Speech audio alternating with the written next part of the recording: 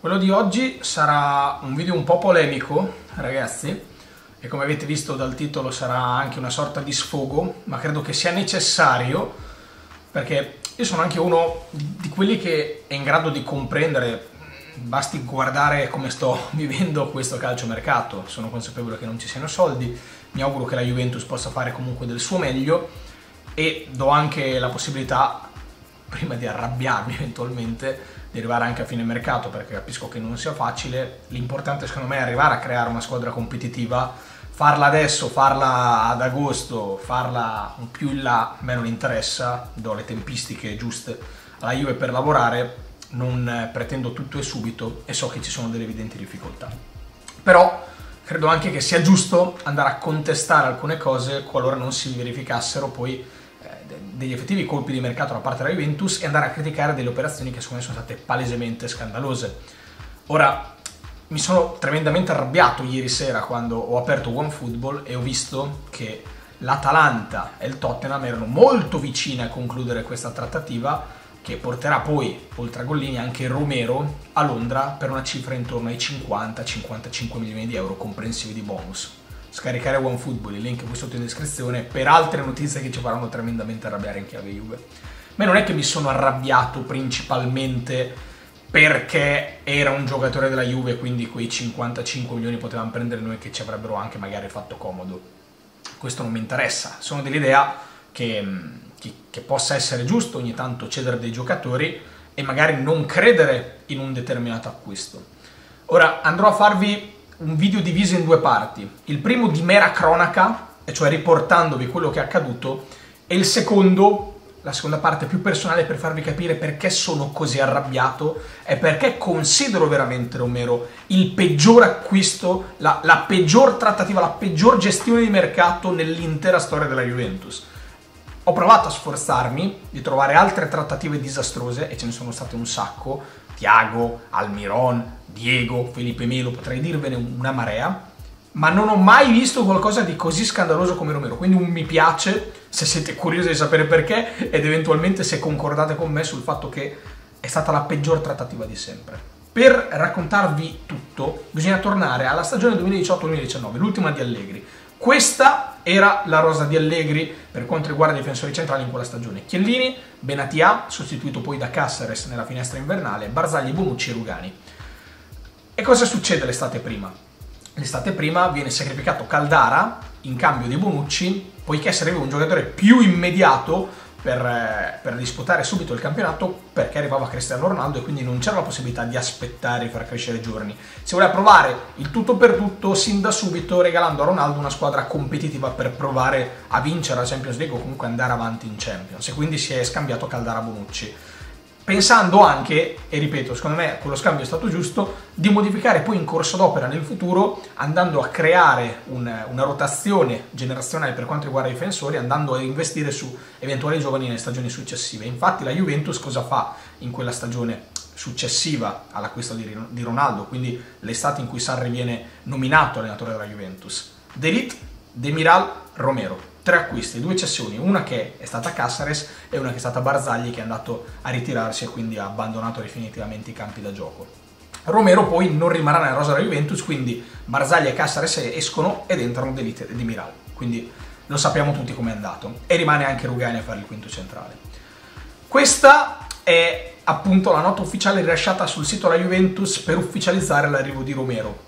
Concentriamoci su Romero, non sugli altri ma su Romero. Accordo con il Genoa per l'acquisizione definitiva del calciatore Cristian Romero, 12 luglio 2019.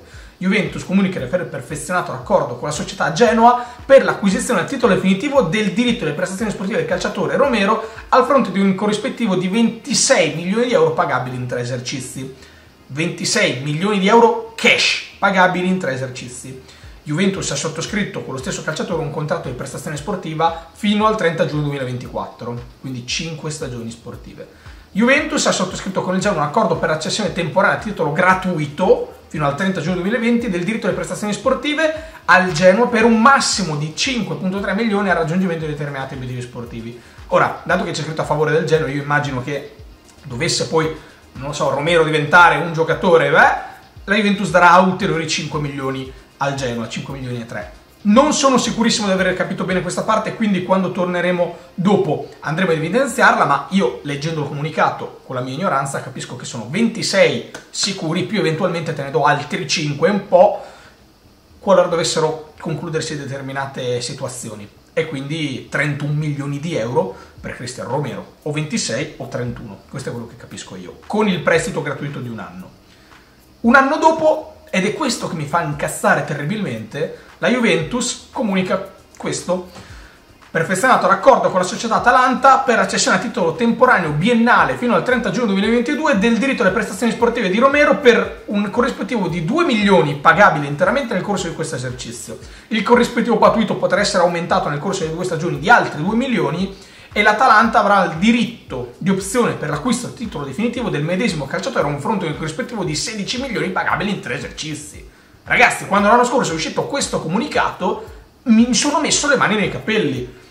Ripeto, 26 o 26 più 5, quindi o 26 o 31, Juventus lo cede a 2, più altre 2, più 16 fa 20. Ragazzi, fa 20.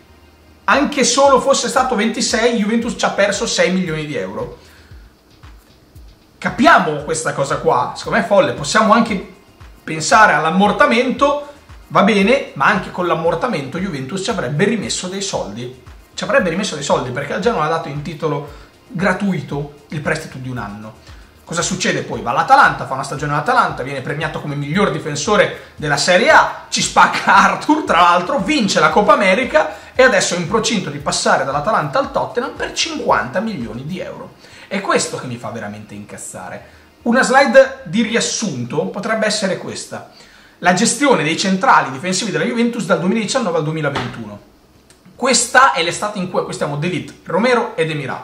75 eh, partite con la Juventus D'Elite da quel momento in poi, 32 Demiral, 0 Romero, 29 Chiellini, 82 Bonucci, 14 Lugani, 4 Dragusin. D'Elite aveva 20 anni, Demiral e Romero 21. D'Elite costa 85 milioni e mezzo con anche oneri accessori eh, per la trattativa destinati a Raiola. Demiral costa 18, Romero quei famosi 31 e 3 di cui parlavamo prima, o comunque 26, vedete voi. Per il prestito, per il bonus e la cessione, la Juventus guadagna 20 milioni e quindi è in perdita di 11 milioni e 3 in questa trattativa. Allora, la Juventus in quella stagione decide di investire 135 milioni di euro circa per l'acquisto di tre difensori centrali giovani, perché è ben consapevole che Chiellini e Bonucci hanno una certa età e prima o poi dovremo salutarli, che Rugani non è al livello per essere un giocatore titolare nella Juventus, guadagna tanto ed è un esubero, e quindi la Juventus si mette avanti, compra tre difensori centrali dal futuro promettente, tutti e tre giovani e spende una barca di soldi. Ottimo, fantastico, giustissimo, è giusto che sia così. Però uno dei tre, il secondo più pagato, la Juventus, da quel giorno che ha comprato il giocatore, gli fa fare 0-0 partite. Ricorda la trattativa Spinazzola-Luca Pellegrini, che ora Luca Pellegrini è tornato alla Juventus, ma fino adesso ha fatto 0 partite ed è stata carne a plusvalenza. Qual è la differenza grossa? Che in quell'occasione lì, in quell'occasione lì, non hai pagato hai dato Spinazzola, ci hai perso un giocatore, tra l'altro un ottimo giocatore con dei limiti legati agli infortuni, ma non hai tirato fuori soldi.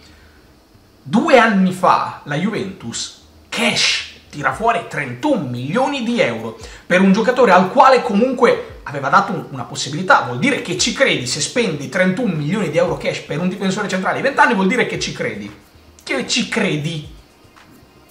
Invece no, zero partite con la Juventus, l'anno dopo venduto almeno 10 milioni in meno di quanto l'avevi pagato un anno prima ed ora vale 50 milioni. Ma la cosa che mi fa ancora più ridere è che all'epoca le trattative venivano gestite da Fabio Paratici, no?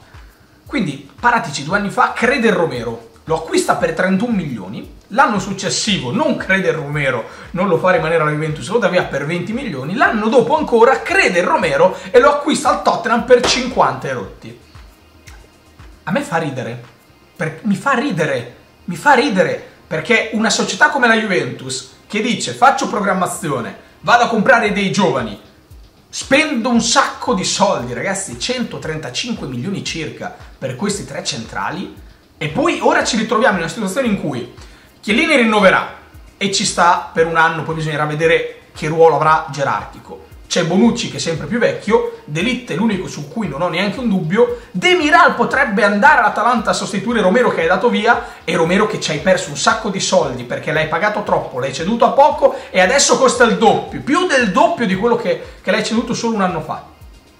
E quindi tra un anno ti ritrovi qua con Chiellini, con Bonucci, con Delitte, con Rugani e forse Dragusin perché anche Dragusin è stato inserito eventualmente nella trattativa col Sassuolo e sei punto a capo lettera maiuscola, quando tre stagioni prima avevi speso quasi 150 milioni di euro per rifarti la difesa.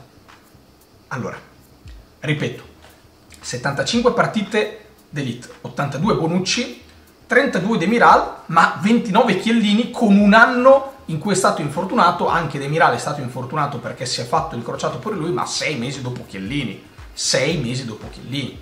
0, 0 Romero, 4 Dragosin e 14 Lugani. Allora, quello che voglio dirvi è questo. A parte il fatto che credo che questa sia veramente la trattativa peggiore della storia della Juve e dopo due anni siamo qua che non sappiamo se riusciamo a comprare un singolo calciatore a 40 milioni di euro di valutazione che Locatelli perché non abbiamo i soldi da tirare fuori due stagioni fa 335 milioni di difensori centrali per poi ritrovarci praticamente con il Soul d'Elite bene o male, una roba del genere e a mangiarci le mani per Romero e vedremo per Demirale, vedremo per Frabotta che sono interessati sono giocatori in trattativa con l'Atalanta. Però, signori, ma, ma è, cioè, è, è, una follia. Cioè, questa roba è una follia vera e propria. Se tu hai in testa di fare programmazione, bene, prendi i giovani, devi avere il tempo, il coraggio di aspettarli. Perché se tu mi compri un giovane a 30 milioni un anno e dopo una stagione nella quale non è andata benissimo col Genoa, me lo vendi l'anno dopo a meno, tu non stai facendo programmazione, tu stai comprando tanto per comprare, poi se c'è spazio o non c'è spazio, chi se ne frega, hai speso dei soldi perché all'epoca ce li avevi e chi si è visto si è visto. Questa non è programmazione. Programmazione a lungo termine e aspettare che appunto Chiellini e Bonucci si ritirino o comunque non siano più in grado di giocare a questi livelli per fare entrare gli altri. Avere Delit, Romero ed Emiral ed eventualmente Bonucci e Dragosi per l'anno prossimo erano una coppia titolare fantastica più altri tre di riserva di alto livello ed eri già a posto, avevi fatto il mercato due anni fa, avevi programmato, eri stato bravo, eri stato lungimirante. L'anno prossimo ti ritroverai con eh, Delite Bonucci, probabilmente, punto interrogativo Chiellini perché probabilmente non ci sarà, punto interrogativo Dragusin perché magari è dato al Sassuolo per Locatelli, punto esclamativo di Milan che magari sarà un top difensore all'Atalanta, Romero al Tottenham, che poi potrà far bene, fare male, quello è un altro discorso. Quello è un altro discorso. Ma se tu mi paghi cash 30 milioni un giocatore, non me lo puoi vendere l'anno prossimo un ventenne, un ventenne a 20 milioni e poi dire, eh però adesso costa 50, eh sì, costa 50. Ne dico un'altra. L'Atalanta e la Juventus sono due società diverse. L'Atalanta vive anche di queste cose, il Sassuolo vive anche di queste cose. Io non farei cambio da tifoso della Juventus con un tifoso dell'Atalanta. L'Atalanta è una squadra che in questo momento nell'immaginario collettivo sta facendo benissimo ed è oggettivamente vero, ma per quelli che sono gli obiettivi dell'Atalanta.